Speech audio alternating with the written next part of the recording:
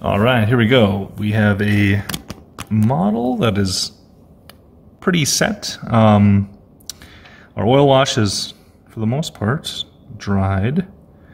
I can see in the deep crevices, we got a little bit of a little bit of wetness still, but I think we're more than more than ready to to work with this guy. So again, we've got our, our clean pool from earlier. I'm not going to be using these other ones. Um, we'll just clean them out using the clean pool once we're done. Uh, I've got a bunch of Q-tips.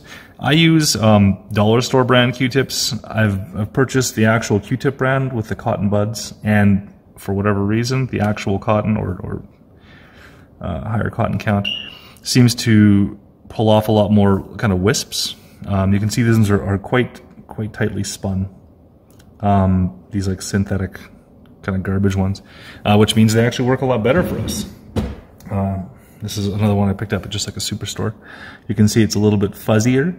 These ones will leave a lot bigger mess, and actually the uh, the white spirit seems to kind of break down these uh, just the fibers on the end. So unfortunately, it was I was excited to try those, and they didn't work out very well. So the uh, the tighter wound they are, the better. The less cleanup we have to do. You can also use little makeup sponges or makeup. I think I have a little chunk here. Something like this, or you can get them on little applicator sticks as well, with like a little kind of sponge, reusable sponge in the end, and they work fine. Um, just after a while, you just kind of have to throw them out because they get kind of dirty. So our uh, our oil paint has set, and we are ready to start pulling it off. We're not pulling it off so much, we're just cleaning off the, the flat panels. okay, I'm to move the, the other stuff out of the frame so it can focus on the mech. Yep.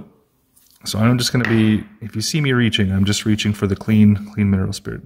I'll, I'll show you the first, uh, first kind of dab here, but so all I'm doing is I'm just kind of touching it into the into the liquid, I'm wicking off the excess. I don't want it to be like soaking wet, just kind of damp. And then what I'm going to be doing is just kind of lightly passing over all the all the raised edges. I'm not pushing down into the crevices, and because it's kind of got a conical head, it just kind of skips across the surface. And you'll see that it see it starting to pull off all the stuff on the raised raised panels and components, and then because we've got a rounded object passing over flat square surfaces, uh, it's not going down into the crevices and it's leaving all that black in there.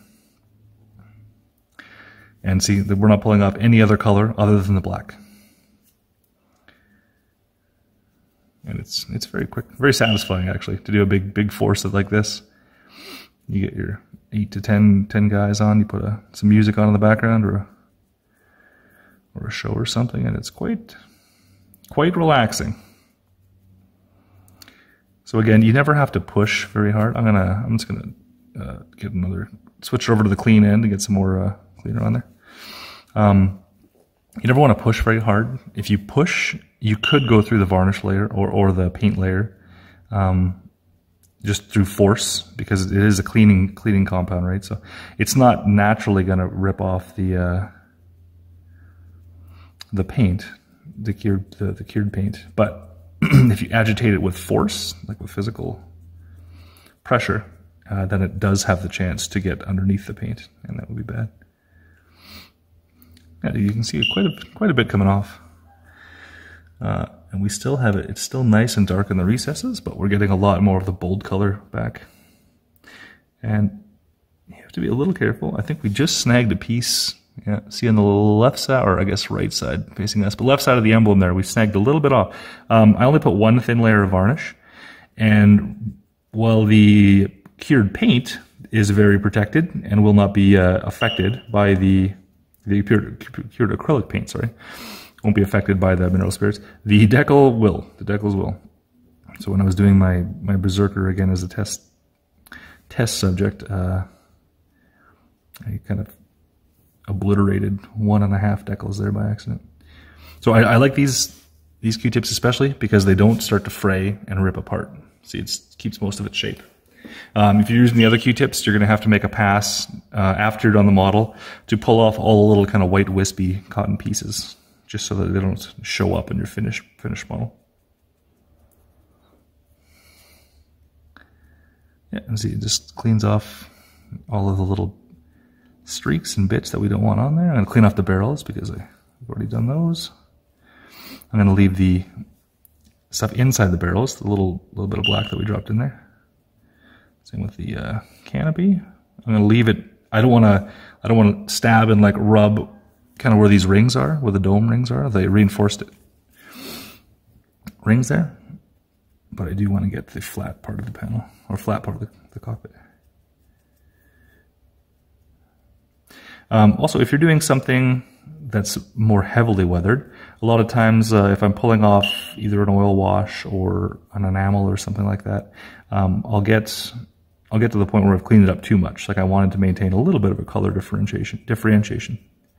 Um, so what I'll do is I'll take the dirty Q-tip or the mildly dirty Q-tip and I'll just kind of like dab it kind of like this on a flat surface.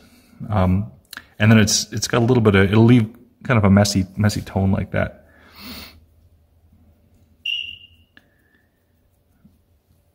And it'll break up just the, the clean flat panel. Sometimes you'll pull off too much, like more than you want to. So instead of going back and reapplicating it, you can just kind of like get your Q-tip a little bit dirty and then just dab it on like that. So that's looking nice. And he is much darker uh, and has a lot more contrast than before. Let me pull that over the frame again. Before we started.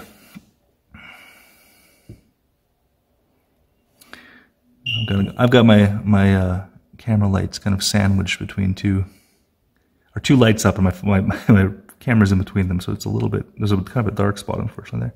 But we'll get some finished pictures up when we're done. Uh, so I think this looks great. I, am really happy with this. This looks pretty true to the box art. The last thing we're going to be doing after we let this dry is we will be doing the laser effects.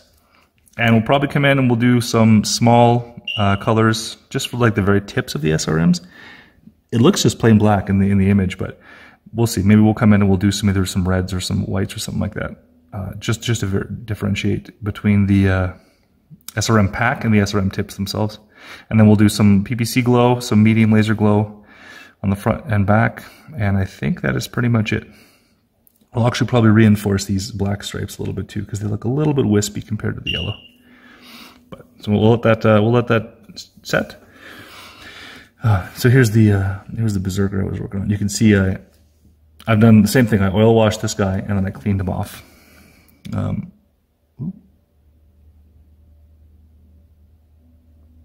he's a little bit wet in the recesses. So see that 25 there looks fairly pristine because I didn't touch that one. But then you can see this one on the top on his uh, on his torso there. Uh, it got one layer of varnish protecting it, which the cleaner unfortunately kind of ate through quickly. Oh, and there's a little bit. See, this is this is dry. This guy was done a little while ago, and I can still just with a little bit damp Q-tip wipe off and pull off some residual stuff I'm seeing now. No problem. Yeah, oil oil washing is such an excellent tool to have in your toolkit. And uh, you could even just spray spray a, model with a, with a spray paint can, let it cure, and then practice your oil washing with a black or a dark oil wash over the surface, and you'll pick it up really fast, really fast. Awesome. Yeah, he looks he looks good too. Uh, fix that. There you go. Perfect. Sometimes you'll see there'll be a little bit of a a texture as it dries, kind of a a mottled oil texture, oiled look, kind of like oil and water. I just either remove it or let it dry fully before you varnish it. Otherwise it can skew colors a little bit. All right. And next up, we're going to be doing the, the base while that dries. So that'll be next.